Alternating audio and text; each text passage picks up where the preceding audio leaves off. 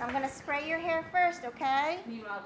It's been pretty chaotic, not as much as in the past because we did a lot of appointments first. Um, we've had several walk-ins as well, but as you saw, we get a couple lulls here and there, and then it's a madhouse again. But it's good. A lot of good kids. Everyone appreciates what we do. It means a lot to the community. They're excited to go back to school. The little ones like going back to school. The older ones don't.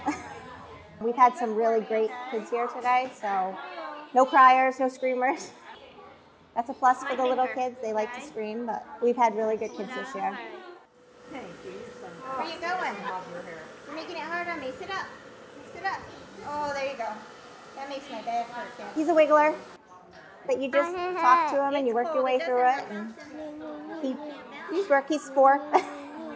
That's typical of a four-year-old. They like to wiggle. Especially with the little ones with the cape with stuff on it, I try and distract them by getting them to look at the characters on the cape, uh, pick out the colors that are in the characters. It kind of occupies them for a few seconds. Um, sometimes I give them the little clips to hold and play with. You learn to move with them, and when you get to the real careful spots around the ears, you just reiterate how important it is that they sit very still. Yeah, we're probably at about 60 haircuts so far. Yeah. It's, it's a long day, but it's worth it. It's definitely worth it. You sleep well.